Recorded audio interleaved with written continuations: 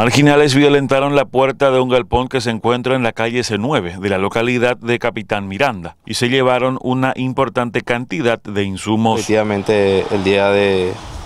ayer se recibió el reporte de la comisaría Capitán Miranda sobre un hecho de hurto agravado en un depósito en una, de un local ubicado sobre la calle 9, C9 del distrito de Capitán Miranda donde el propietario, quien resultó ser víctima, el señor Ricardo Alberto Tibut Heleman, de 35 años,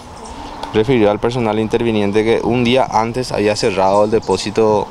eh, con llave y al día siguiente cuando fue nuevamente al lugar se percató que la puerta trasera de su depósito fue violentada perdiendo varios objetos de valor, entre ellos una pulverizadora manual, dos pulverizadoras a motor, Em, también 8 bolsas de abono de 50 kilogramos, una balanza electrónica, bidones de Randac, así también varios insumos agrícolas, cuatro balón de oxígeno y más productos que él mismo no recuerda, ¿verdad? Eh, este depósito está situado en una zona rural. Lastimosamente no hay cámaras de circuito cerrado en el lugar, pero en vista que por todo lo que llevaron,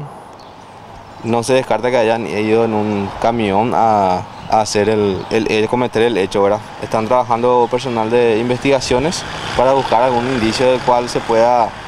se pueda sostener para llegar a la aclaración del hecho. La pérdida es millonaria por todos los elementos también, ¿no? Sí, así mismo, eh, con todo lo que se haya llevado, tanto electrodomésticos, insumos agrícolas y eh, máquinas, maquinarias también, el, el daño y perjuicio es bastante. Los uniformados de la comisaría número 11 ahora inician las averiguaciones en la zona